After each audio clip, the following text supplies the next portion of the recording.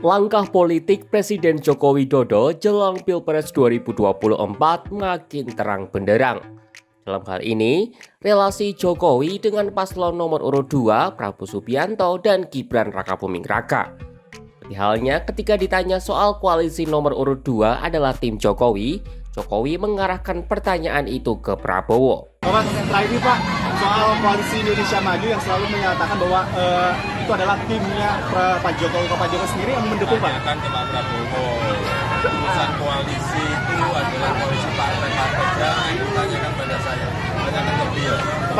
Sementara dalam jejak kompas.com, Prabowo pernah menyatakan secara gamblang jika koalisi Indonesia Maju arahannya merupakan tim Jokowi. Pernyataan Prabowo itu terungkap saat kampanye di Jambi pada Selasa 9 Januari 2024. Langkah Jokowi dalam memihak salah satu partai semakin ramai diperbincangkan.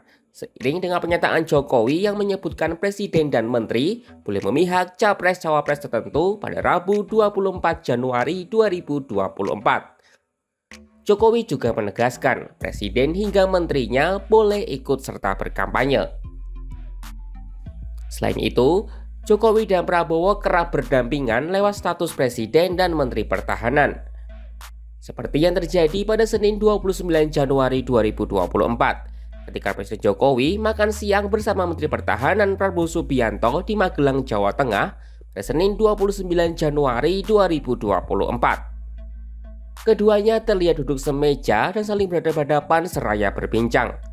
Saat ditanya kapan akan mulai ikut berkampanye, Jokowi enggan menjawab pasti.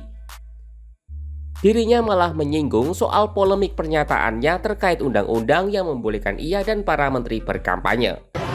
Baru menyampaikan ada pertanyaan, ya, saya menyampaikan ketentuan undang-undang saja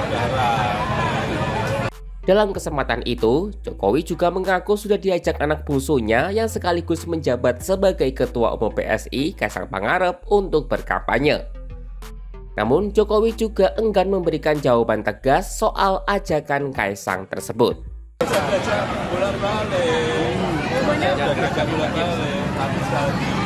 saya menyampaikan ketentuan undang-undang